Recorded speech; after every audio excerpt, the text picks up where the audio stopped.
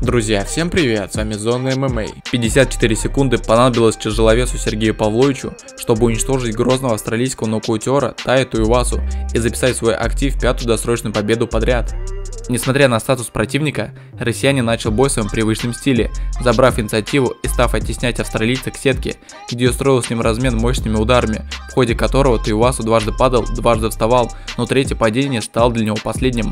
Сирил Ган поделился своим мнением о этом поединке. «Держи голову выше, дружище Туивасу. И Павлович, ты реальная угроза», написал француз в социальной сети. Тремя месяцами ранее Туиваса потерпел досрочное поражение в бою с Ганом, которому проиграл нокаутом в третьем раунде. Также Тай Туивасу обратился к своей команде, сопернику и фанатам. «Черт, сегодня меня уделали», написал Бамбам в социальной сети.